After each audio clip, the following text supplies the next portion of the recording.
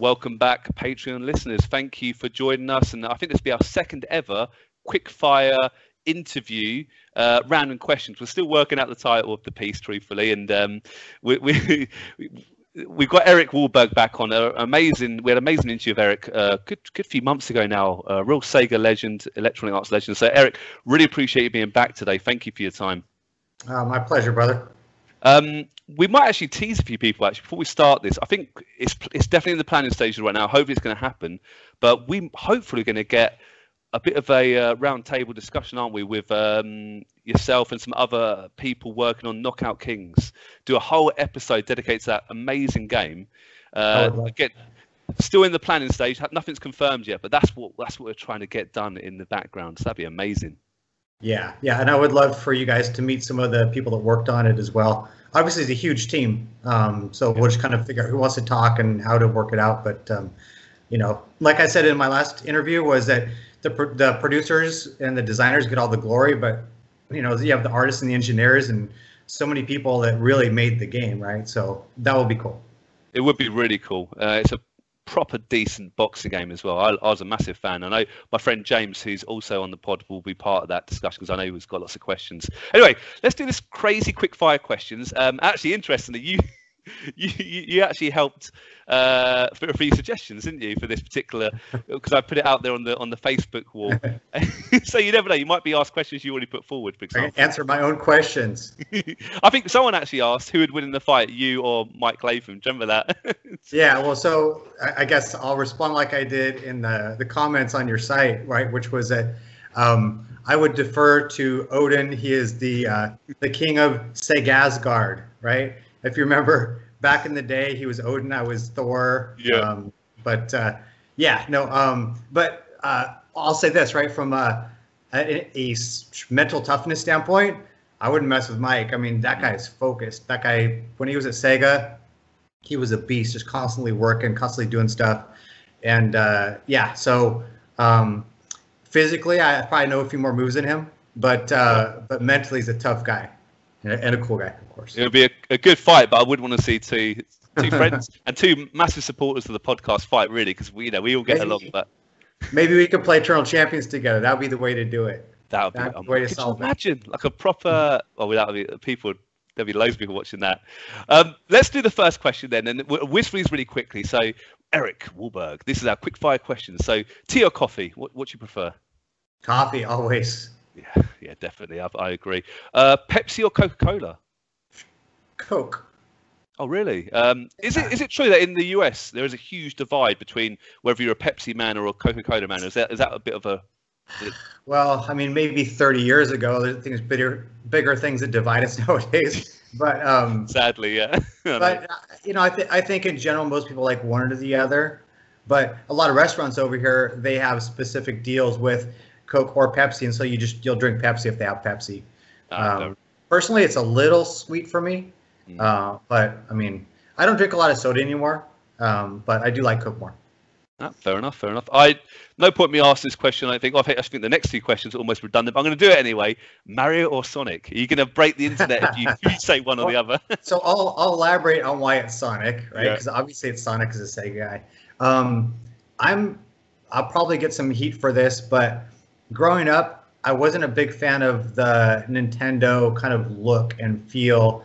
I like things that were a little bit more edgy, a little bit more, and sometimes real or whatever. If you could be in the '90s and you know 16-bit, um, so they're a little too cute for me. Although I will say those games are amazing. They're masterfully made. I mean, no doubt. But uh, I love the edginess and the coolness of Sonic and uh, things like we did with Eternal. It's so edgy and rated mature, right?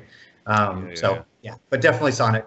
No, I think I think I asked Michael this, but I don't think I asked you this. Erik. Apologies if I have already. I, I asked if you could choose any Nintendo game that was released on the Mega Drive or Genesis instead, which game would you choose? Which would you be like, wow, this would help really the console sell well? Any particular, apart from maybe Mario, let's say.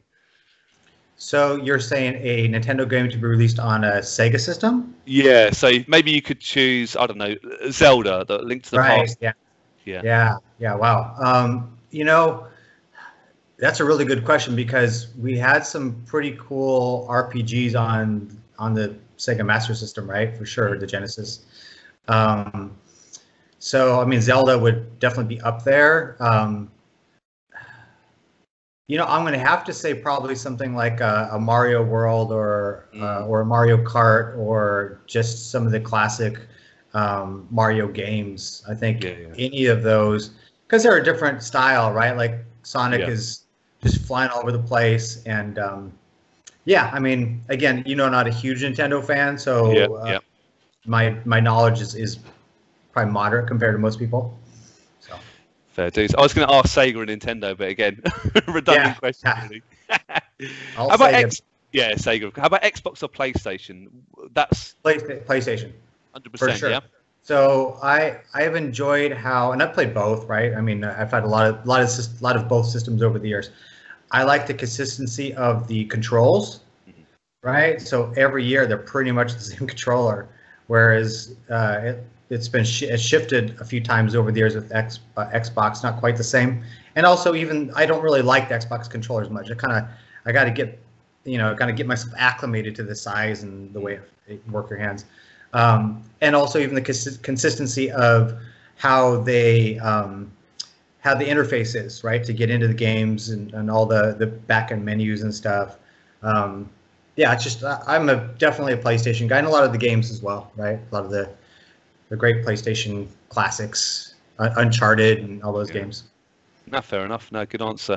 How about the Amiga or Atari ST? Have you ever had any experience with either of those two computers?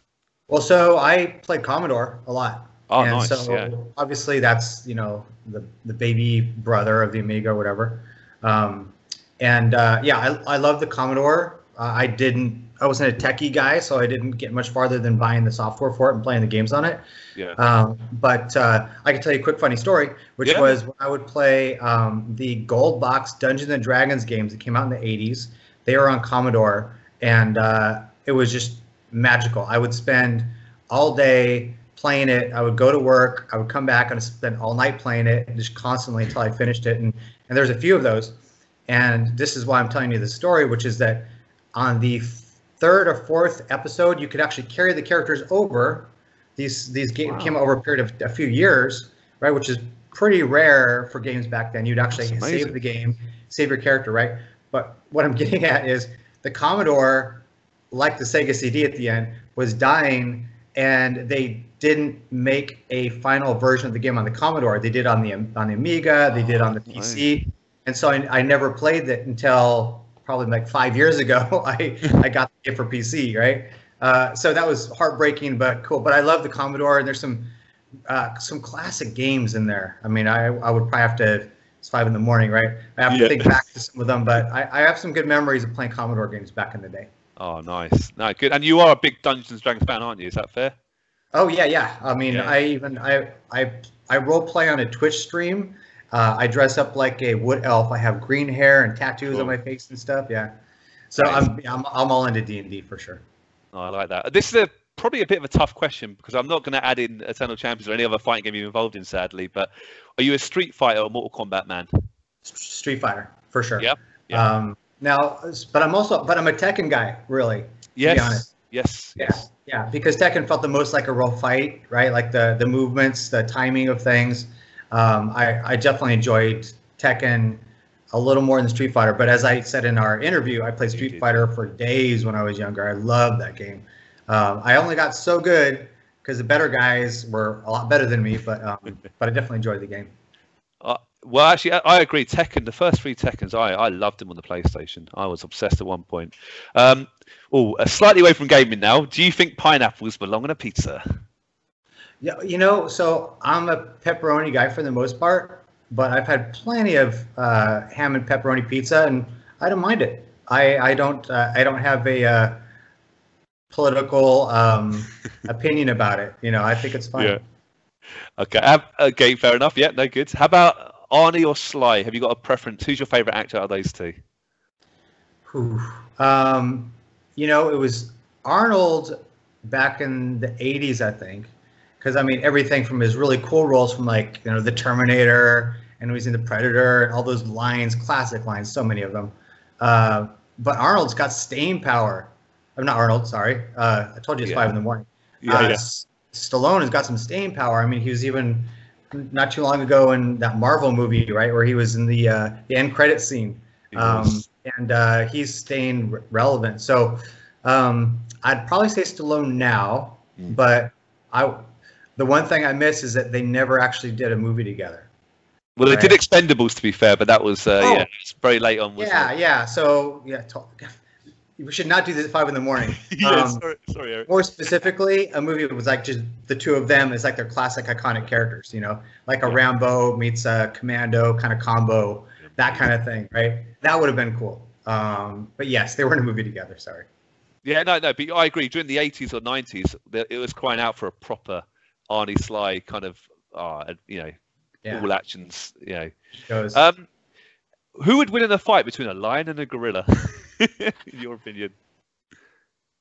I would have to say it would be the lion. Uh, I mean, gorillas are incredibly powerful, but they don't have claws and stuff. So I'm going to imagine that the lion would take the gorilla down and get at his neck, and it would be a mess. it would be a, yeah, I, something we don't really need to see, I don't think. But yeah, good answer. Have you got a favourite film of all time? One film you just love and you could rewatch?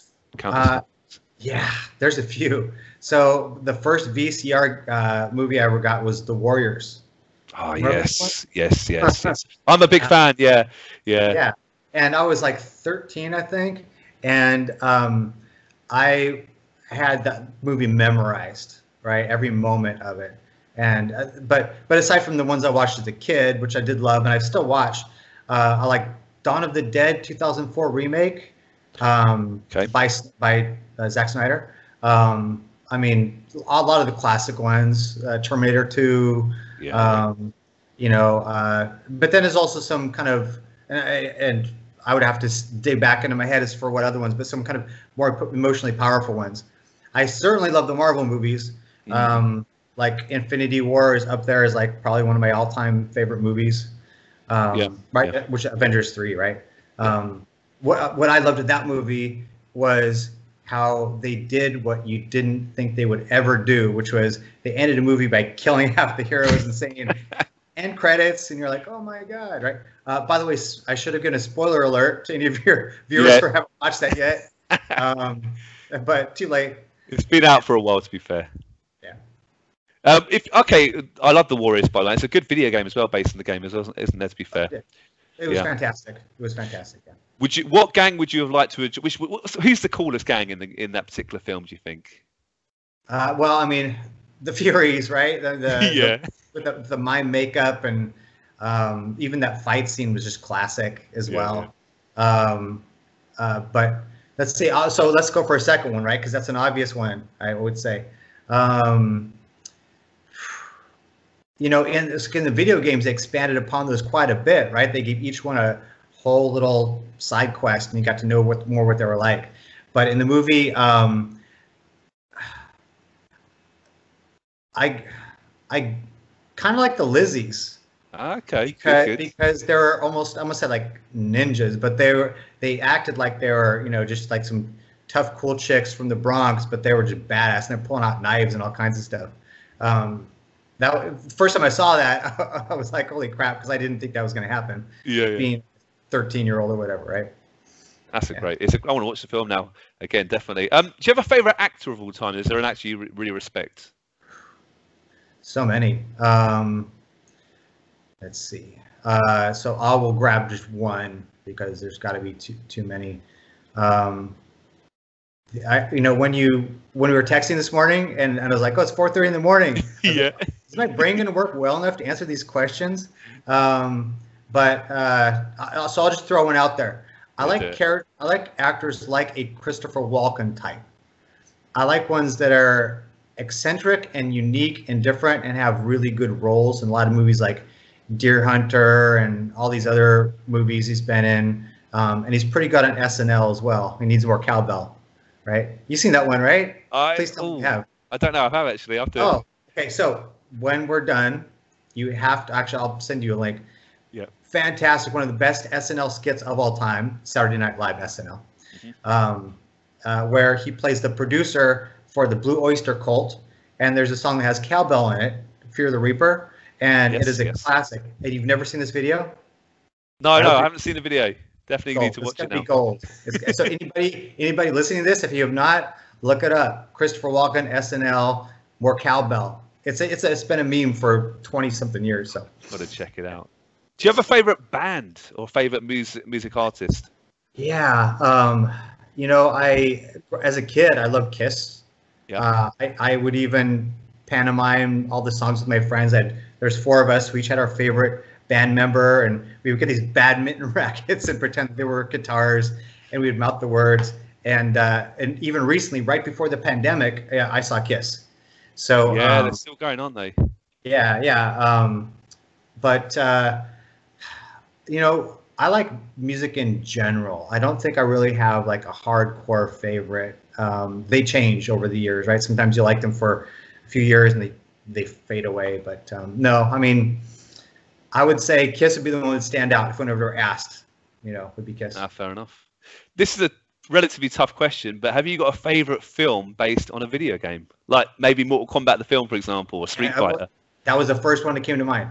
Yeah? That was, that was Mortal Kombat. I loved the first one. I mean, the fight scenes were great. Uh, the cinematography, the, the the the actors, most of them could actually do martial arts, which was Yeah, nice. of yeah. yeah. So I mean, it wouldn't be like the Street Fighter movie. It wouldn't be the uh, um, the Mario movie. Yeah. Like those were all just like. ugh. Um, but I feel like there's another one not too long ago that was pretty good. Uh, I'm not sure what it is, but I'm looking forward to Tom Holland in Uncharted. Mhm. Right. So he, you know, you know, he's doing that, right? Yeah, yeah, yeah, definitely. Yeah. And I've never Yeah. actually played Uncharted, but I've heard it's really good, so I might have to get on that actually. It's Yeah. basically, I mean, uh, Uncharted is it's basically like you know Raiders of the Lost Ark kind of Gotcha. thing, more or less. Uh, but yeah. I'm looking forward to that.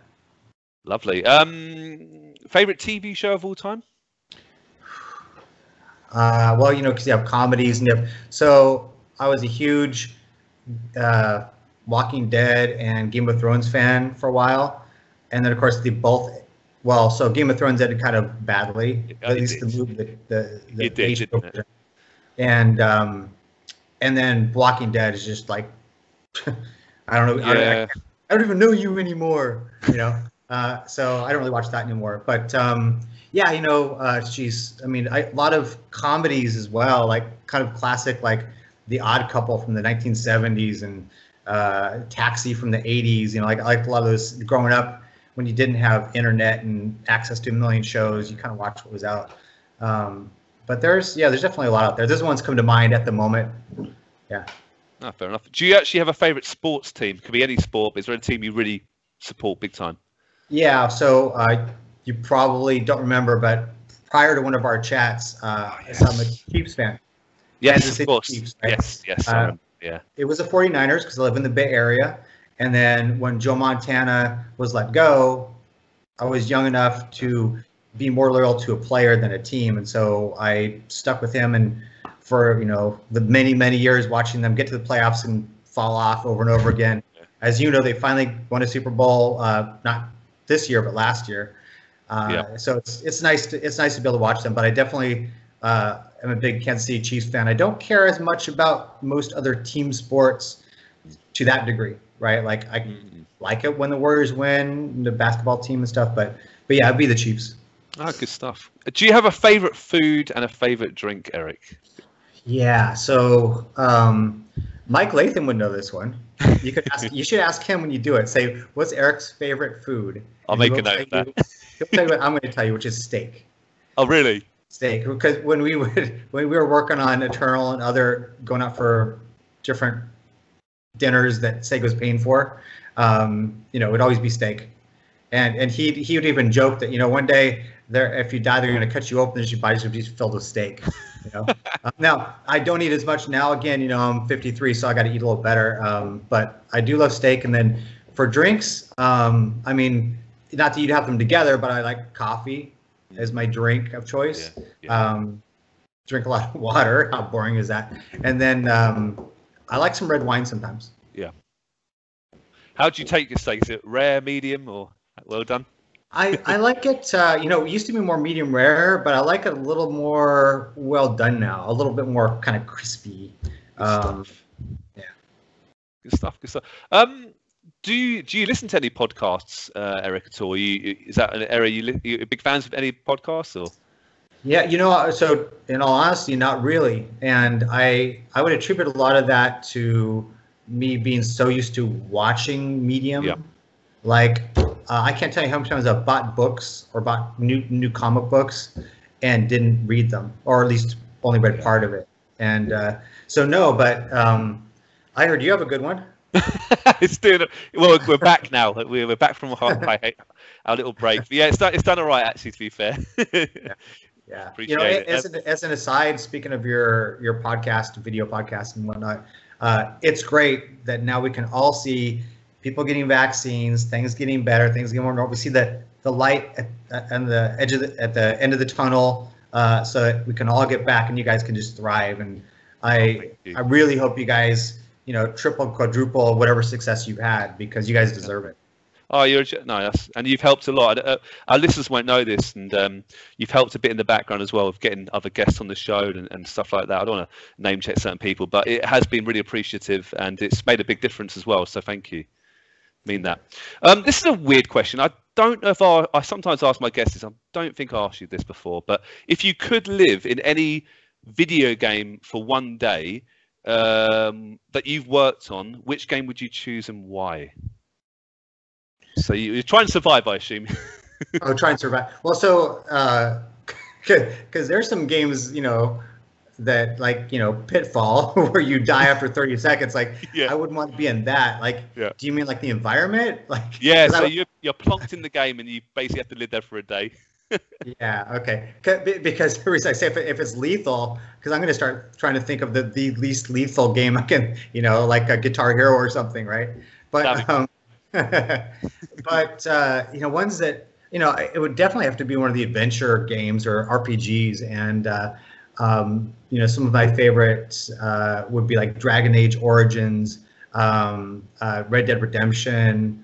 Um, you know, being in these settings, these deep settings with beautiful, diverse landscapes and interesting characters and interesting times, right? So I'll just pull those two out of my pocket and say, I think, you know, either of those would probably be pretty cool.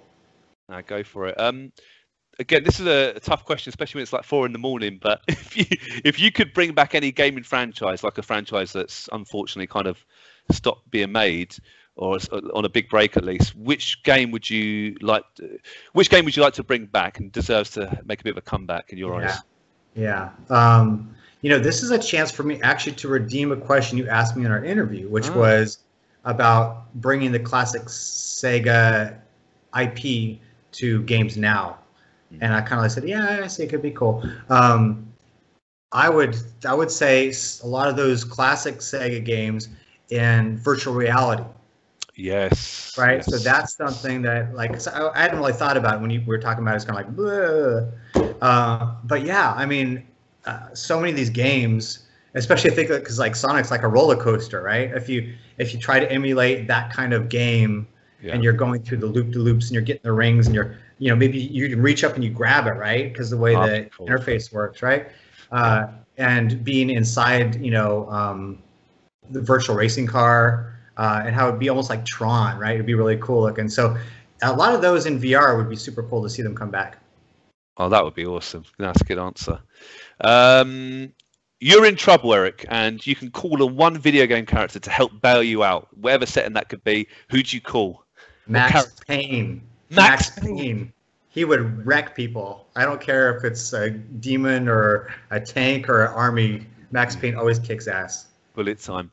Uh, I'm a huge Max Payne fan. Um, uh, are you? Fa- you've played all three of the games. I've I've played one and two personally. I've played three. Uh, three, I think they- yeah. also really good. I mean, three, uh, it's different, but so well done and just badass. I mean, uh, we talked about this, I think, before. I don't know if it was on one of our uh, the interview we did or off off camera, but um, that first one, so much emotional, um, Yeah, yeah, yeah. You know, involvement in that one. Like the whole game, the first one, I felt like I was him just getting revenge, kicking ass. Like I was really motivated. Uh, but three is good. Definitely check it out. I will check it out. I, I, I, I yeah. Talk about Max Payne all day. To be fair, what are your high score initials when you do well in an arcade game or whatever? I think I think like so many teenagers, probably not that uh, unique as God. Ah, nice. Yeah, yeah, God. yeah. It was God. When I would play, like I told you before, I play that game Kangaroo, the arcade game at 7-Eleven, Yes. or anywhere I play it, I was God, God, God, God, God. and you can say that was always me. That was me, me. yeah, exactly. this is the guy who didn't even have a girlfriend, and um, so somehow I'm God. You've got to own it, uh, Erik. Um, I, again, if I've asked you this before, I do apologise, but we'll finish off by just saying your top three video games of all time that you still play, or just look back and think these are amazing. Yeah, yeah. Um, I'm sure I'm gonna leave some out, but I'll just c- come three of the best ones that I remember is like I finished it and I loved it, whatever. Um, so I mentioned earlier Dragon Age Origins. I really did enjoy that one. Um, I am gonna go back to a D&D game, and there's a few good ones like Baldur's Gate and whatnot, which were super, super good. Love Baldur's Uh, Gate. Yeah, but and I'm sure you haven't played this other one, which I mentioned earlier, the Gold Box D and D games that came out in the like 87, 88. I haven't. No. Yeah, so there was Pool of Radiance. That was the first very much authentic D and D game. Like all the rules were in there, and it was long, and it was like a module. It was like a lot of fun. So that one stuck with me because it was like magical to me. Um, and then just to pull, you know, something more recent, um, I'll say like XCOM 2, right? Um, Yes. yes. yeah. uh, this the strategy mixed with a story, mixed with having your own character, you know, investment and stuff, um, and always playing in uh, I forget what what Iron Man mode or whatever the, they call it. That that was both awesome and a mistake because if you do poorly, you're screwed. Uh, Yeah. But yeah, so th- those are three. But you know, like uh, I mentioned, or like Red Dead Redemption Two, I love that one. Um, there's you know Mass Effect. I, I like a lot of adventure RPG kind of games Nice. or yeah. strategy games. Well, Erik, it's been really lovely chatting again, and um, I'm w- I'm sure we get you back on the show with different bits and bobs in the future, especially with that, you know, hopefully upcoming uh, Knockout Kings roundtable discussion. I'm really looking forward to that. Um, Yeah. yeah. this was for our Patreon listeners, so thank you so much for obviously being a Patreon listening today. We appreciate your support, and Erik, you're a real gentleman, and uh, thank you again for all the help in the background as well. I do appreciate it. My pleasure, my brother. I will see you soon. Thank you very much.